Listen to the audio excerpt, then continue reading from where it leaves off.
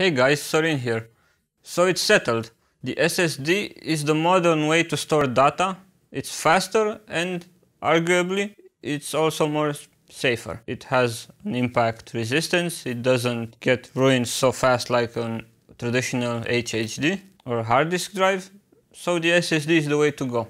But when shopping for one, you might have seen acronyms such as SLC, MLC, TLC and QLC. What the hell do this mean? It's easy. It refers to the number of bits stored in a cell from that SSD. Let's take a step back. The main components of an SSD, apart from the connector, the housing and all that fancy stuff, is the controller, the NAND chips, the chips that store the data, and some faster SSDs have DDR memory also, in order to help speed up the moving of data. Okay, these NAND chips have cells in them and each cell holds bits in it. Bits that are activated or not using an electrical impulse.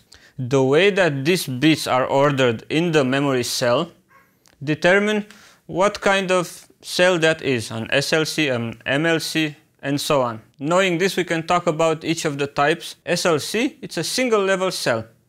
It's mostly used in enterprise drives as it's very expensive and it doesn't have such a big capacity due to holding only one bit per cell. So that means that it's not quite feasible for an end user, a normal user, a gamer or programmer to buy such drives. And not very practical if you ask me. We don't need that kind of server enterprise grade hardware. The MLC stores 2 bits per cell. That means it's cheaper to manufacture, it can hold more data and it's cheaper to buy. It's also a bit, but only a bit less reliable as in how much that data can be written to it before the SSD dies. That's honestly just not an issue with modern drives. Just not. You can't write that much data in order to ruin it, even if you use it for work. If you're a programmer, a graphic designer, whatever. Next type, is the TLC, the triple level cell. This is the name gives it away. Holding 3 bits per cell. It's a bit slower, it's a bit less reliable. Again, this is based on data, not how much you will humanly be able to use it. Comparing to the first one, we, I must say that it's less reliable. And it's cheaper. This is great for gaming, for work usage, even office usage, as it it's quite cheap. I mean, you can find a five, you can find a 500 gigabyte SSD drive quite cheaply nowadays.